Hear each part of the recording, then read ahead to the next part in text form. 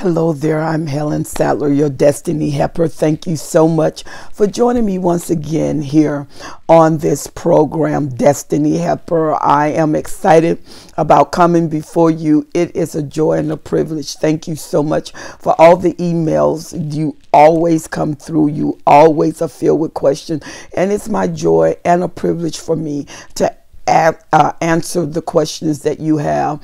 And thank you so much for those of you who have subscribed to my YouTube channel. Thank you, thank you, thank you. When you subscribe, please push the bell every time I come on with a new program. You will be alerted. Like and share the page because we are helpers one to another. You will be amazed other people that will read your comments, that will, when you share the page, it may be just what they needed because a lot of people don't understand cluster B relationship or NPD.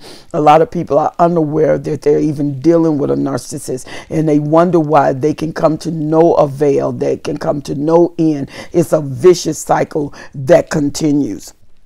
So, which bring us into our program uh, one young lady said that I am on the brink of breaking with my narcissist. What is wrong with me? I want to leave, but I can't. I'm on the brink of breaking. Please help me. Alrighty then. When you are with a narcissist, the narcissist, because of their personality disorder, creates a lot of different variables in your life. A narcissist treat you as they see themselves. And because they're not able to love, and I know they love bomb you in the beginning. And if you notice on the program, a lot of people talk about the love bombing. It's almost impossible to attach any other uh, subject matter without the love bombing because the love bombing was the foundation of everything. It's what made them work. It's what made it, it's what took your interest. It's what caused you to be connected to the narcissist and that you were willing to give up everything including yourself. And your mind has been tortured, your emotions have been tortured, your will has been tortured, and you are saying, But I'm losing it. I'm losing what reality is to me because I feel like I'm losing my mind. And some of you have even said that I have suicidal thoughts because I feel like without the narcissist, without her, I'm nothing. Without him, I'm nothing. I don't see myself doing anything without them. That's because you need to change what you are seeing. Whatever your focal point, that becomes what you envision. And what you envision either give you hope or take away hope. And wherever you spend your time is where you put your life. And when you spend all of your time trying to please the narcissist, running after the narcissist, catering to the narcissist, anytime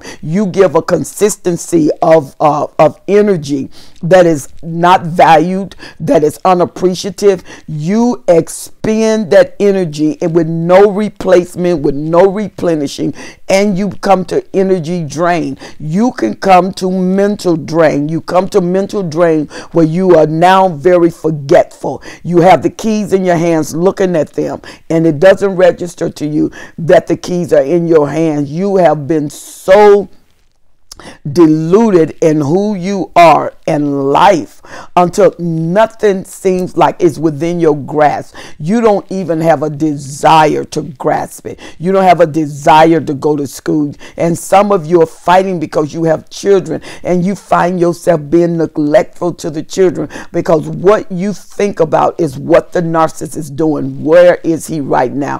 Who is he talking to? Who is she with right now? And so the narcissist take you to the end because the narcissist would gaslight you, always accusational, and the gas and they go silent. They go into a silent mode. The silent mode with a narcissist is pure torture because they are in the house and they won't say nothing. You are trying everything you can to get a relationship with them. You're trying everything you can to communicate with them. They say nothing. And the look in their eye as if they could kill you. They look like they hate you. They look like you matter less every day to them. They look look at you as if you have no value. They won't buy you anything. They won't buy you flowers. They won't do anything. They won't return your calls. And they may be your husband. They may be your wife. They don't return your call. And when you come home, there's no hug. There's no greeting. They sit in the room and then they leave. And when you ask them where they're going, they never say anything. Some narcissists purposely get in the bed with you, knowing that you have a desire to be with them, knowing that you want them, and they torture you. They walk around you as a husband or a wife and they allow you to see them undressed and they don't touch you. You haven't been touched for months and they just make you crave them. And then just when you want to give up, they hit you. And this is a continuous cycle over and over. They turn family against you. The narcissist family get they gaslight you. They defend the narcissist and you know they see them. You know they know that they are wrong, but they will defend the narcissist. They will keep giving you instructions on what you should do next to win the narcissist, to please the narcissist. And you find Everybody is trying to please the narcissist because narcissists are people who are narcissists. They affect your mental health. They affect your emotional health. They affect your biological health. The health. They affect the chemistry in your body, the hormones in your body. They affect your future, your past. They affect your now because the way you used to see things is not the way you see things anymore. You, I'm on the brink and yet I can't leave. You have to make a decision to live. No one can do that for you. You have to make a decision to survive. No one can do that for you. And if you don't do that, that will not be done. And the narcissist will continue doing what they're going to do with or without you and you have to get a restraining orders on your own emotions. And you have to timeline that emotion and bring those emotions in. Know that you deserve better. Know that there's a better treatment know that God has given you better. And when you know that there's value to you, you will stop tolerating different things. You tolerate things because now on the inside of you, you don't see your worth. You don't see your value. Now on the inside of you, you are thinking that you're bad. You're thinking that I can't please the narcissist. And you are totally, totally, totally, totally saturated with thoughts on what can I do next. And it doesn't matter what you do next because everything you did fail. And the narcissist literally laughs in your face because then the more effort you put toward that relationship, the more they laugh because you know what the narcissists know? I am an empty hole. So no matter what you put in me, it falls through. That's why I don't keep my word. I fall through. I'm a liar. I fail. And I'm a cheater. I'm never faithful. I absorb everything you got and I give back nothing. And when I do give it back, I got a string on the end of it. I have an ulterior motive. I want you to introduce me to your friends because I will have your friends like I have you. I will have them without any conscience, without any problem. I will triangulate your family. I will triangulate your friends. If I know there's an enemy, I will triangulate the enemy and use them as a fly lion monkey against you. I will triangulate your friends. This is what the narcissists say. This is the voice of the narcissist. And the narcissist will tell you, why do you try? Just give up. Just quit. Most people who commit suicide, the, nar- that, the narcissists don't care. They just go to the next person. And you are no longer here. So if you are thinking that I'm on the edge, I'm on I'm about to have a breakdown. If you know that, do something about it. Don't go through the process. Don't continue on the road that you're on. Come off that vein. Start building yourself up. Start doing something with your mind. You are located where your mind is. You are always where your mind is. If your mind say I'm defeated, you are in defeat. If your mind say I'm locked here and I'm stagnated, you're stagnated. But if your mind say I'm going to pursue life and I'm going to get up and I'm going to make it happen. Nothing can stop you. No narcissist, it doesn't matter how much you love them. Sometimes you can love someone and you have to do it anyway. You have to express yourself anyway. You have to accomplish anyway. And you let nothing stop you. Your goals belong to you and you have to use them and exercise them. You can strengthen yourself every single day like you lost yourself every single day find yourself. You find yourself through discovery. Just like you lost yourself in your mind, you can find yourself in your mind. Your mind is a terrible thing to waste. And the narcissist spend a lot of time with words in your head.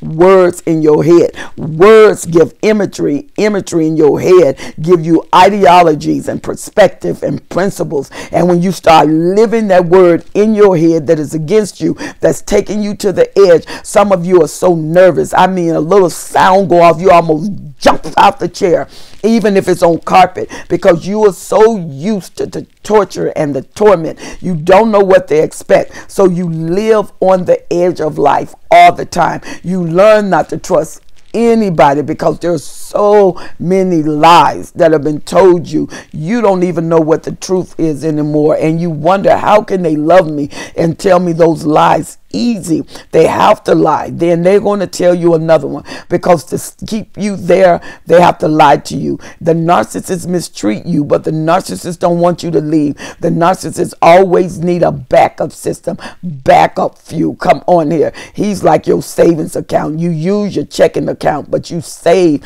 in your savings account, and that is long term. The narcissists want to be long term. And so what he does or what she does is make sure that that you are totally, totally satisfied, that you are totally, totally pleased, and that narcissist could care less about being pleasured, about being pleased, as long as they are satisfied. Your hope, your dreams gone, college gone, money gone, and you are totally disappearing. You're aging, they're getting younger.